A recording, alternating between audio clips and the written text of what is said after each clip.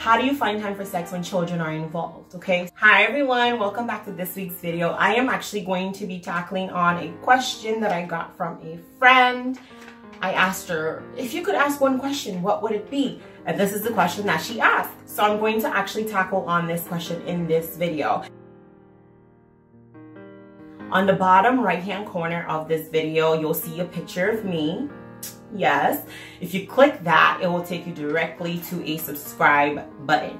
So just go ahead and click on there. It will put you on the subscribe. You can just click right there or you can click the red button below if you're familiar with youtube. Anyways for those of you that recently subscribed to my channel thank you so much for doing so. I really appreciate it.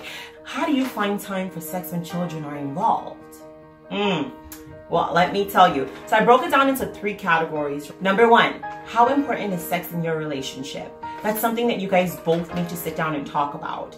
Um, and you guys need to talk about how frequently you guys actually want to be having sex. So let's say you both sit down and you guys both discuss it and he says, you know what, I would at least want three days out of the week. And then you say, you know what, three days isn't so bad. I can give you three days. Okay, so now you know you guys are on the same page. But that discussion needs to take place essentially. You need to have that conversation out loud. You definitely want to take into consideration schedules, children, all that stuff when you guys are having that conversation. Um, and you don't want to be biased. So for example, say you're a stay-at-home mom or whatever and you take care of the children and you're exhausted or he works and uh, and when he comes back he's exhausted. You have to take all those things into consideration when having that conversation anyways. So have that conversation, come and meet halfway if you guys are like really, really far off. But if you guys are on the same page already, that's even better. But you need to have that conversation. How important is sex in your relationship? Have that conversation openly with each other and then come to a mutual agreement of how many times or how frequently you guys want to engage in extracurricular activities. Number two is you have to prioritize. It means that if it is something that you guys want more of in your relationship or if it's an aspect of your relationship that you actually do want to focus on or put more energy towards then you actually have to prioritize it. I heard a story one time that actually like was really really funny. So this woman was talking about her relationship with her husband and she said every time they're about to engage in sexual activities the children begin to cry. Like it just happened so frequently that she almost felt like these children are doing this thing intentionally. And because the husband was so worried about the children every single time, they would stop. They literally would not engage with each other. They would constantly just stop. So they found themselves in a predicament where they weren't engaging or they weren't having sex just because the children would always cry at that point. In my personal opinion, I feel like if your relationship with your husband is a little bit tarnished, it affects the children. So the first priority in my marriage is my husband. So I, my husband comes first. I know this doesn't sit right with our society nowadays where it's like children should come first, but look where that's gotten us. I feel like if mom and dad are happy, everything else works. So for me, when I say prioritize, it literally means you have to put that first. If that's something that's important to you guys, then you have to put that first.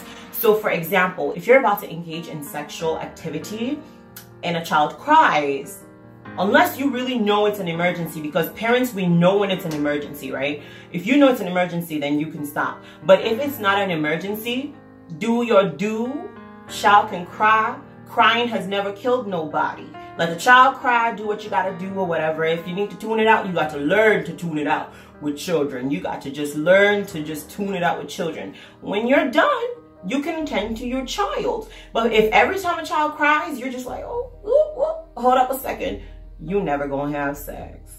Again, as a disclaimer, if it's an emergency only, then you can tend to the child. But you know, some children just cry just for attention. If you you know how children are, it's almost like, you know, oh my goodness, let no child put asunder. Seriously, let these children not come between you. Are you serious? Your marriage should be that important. Something that I think people never take into consideration is your children will grow up and leave you, but your relationship would be there. So if you never put anything into your relationship or fostered your relationship, that's going to be a problem when your children actually leave. Plus, you're not showing them an example, a proper example of what a marriage is.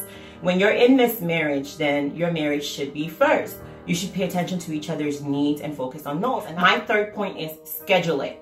You have to put it down in a calendar somewhere. Put it on your phone. Like, you need to schedule it. And people can say, well, with scheduling it, wouldn't that just be boring because it's like planned for? Uh, no. Just like you schedule an appointment, does that make it like routine? No. I still have fun if I go to my appointment even though I scheduled it.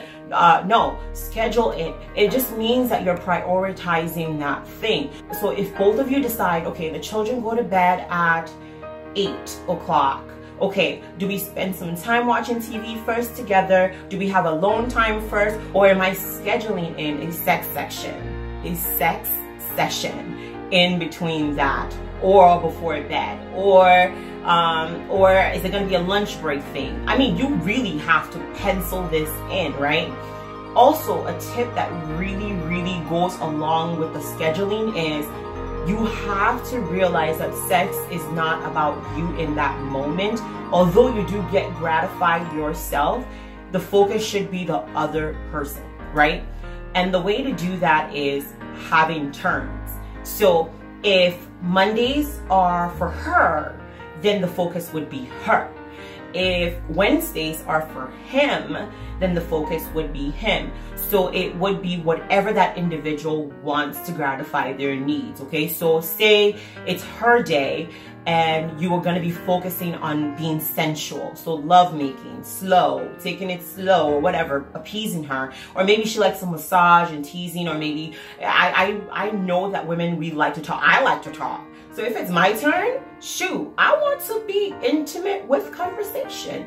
Um, and I know for him, he might not like the same thing. So when it is his turn, I can shut my mouth and do what I gotta do. Get it? Like, stop talking, stop talking, stop talking. So pretty much picking the person's day. So say if it's his day and he wants to bang it out, then that's what he wants to do that day and you have to be on board. And I feel like that way everybody's needs is met. So it's not like, oh, we're just gonna not have a plan and just wham bam this thing or whatever and stuff like that. And then what ends up happening is if your needs are not met, you're going to be super frustrated. You're going to be angry. You're going to be bitter. You're not going to say anything, especially on the female side, because I've had a lot of conversation with women that are married that don't say anything to their husbands. But we, I think it's time that we actually do say stuff because you're going to be frustrated and you're going to be lashing out at him and he doesn't understand what's going on. So it's actually better for you to clarify the situation.